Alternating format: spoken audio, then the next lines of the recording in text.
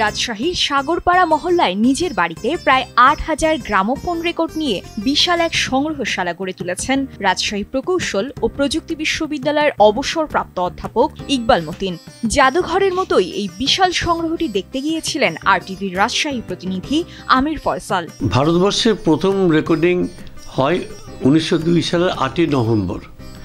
এই সেই দিনকার যে রেকর্ডগুলি আছে, সেখান থেকে মানে সেই রেকর্ড আমার কাছে আছে। সেখান থেকে শুরু করে উনিশশো তিরিশের দশক পর্যন্ত আমি রেকর্ড সংগ্রহ করেছি। আমার যেটা ছিল, ওই শিক্ষকতার পেশা, ওটাই আমার ইনকাম ওর বাইরে তো আমার কোনো ইনকাম নেই। কারণ আমরা কেউ প্রাইভেটও পড়াই না, অন্য কোনো ব্যবসা বাণিজ্য নেই, জমি জমা নেই, কিছুই নাই। ওই চাকরি থেকে যেগুলো আসতো, তার মধ্যে থেকে বাঁচিয়ে এগুলো করতে হয়েছে। সবাইকে অবাক করে দেওয়ার মতো এরকম প্রায় আট হাজার আরপিএম গ্রামোফোন রেকর্ড রয়েছে ইকবাল মতিনের কাছে। এর মধ্যে একশো বছরের বেশি পুরনো রেকর্ডই আছে দুই হাজারের বেশি। উপমহাদেশের প্রথম রেকর্ডটিও তার সংগ্রহে রয়েছে। আছে নয়টি সচল গ্রামোফোন যন্ত্র।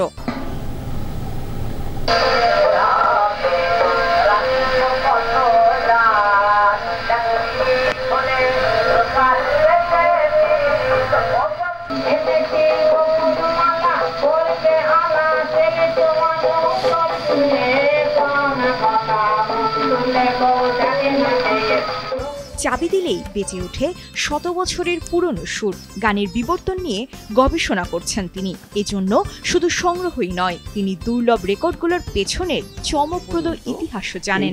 ওই লালবাজার থানা থেকে এটি সেন্সার করে ওটা একটা শিল মেরে নিতে হতো যে রাষ্ট্র ব্রিটিশ বিরোধী কোনো কিছু আছে কি না তারা শুনতো শোনার পর একটা শিল মেরে দিত।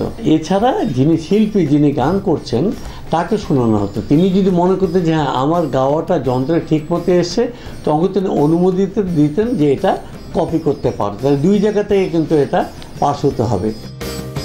শিশু বয়স থেকেই প্রখ্যাত শিল্পীদের জীবনী নিয়ে পড়াশোনা করতেন। তখন থেকেই ভাবতেন, এই প্রথিতযশা শিল্পীদের গান বাজনা যদি নিজের কানে শোনা যেত, এই নেশাই তাকে পেয়ে বসে। নেমে পড়েন গ্রামোফোন রেকর্ডের সংগ্রহে।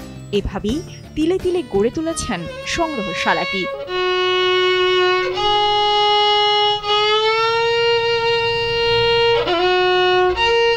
সাজি ইসলাম গ্লামার আর টিভি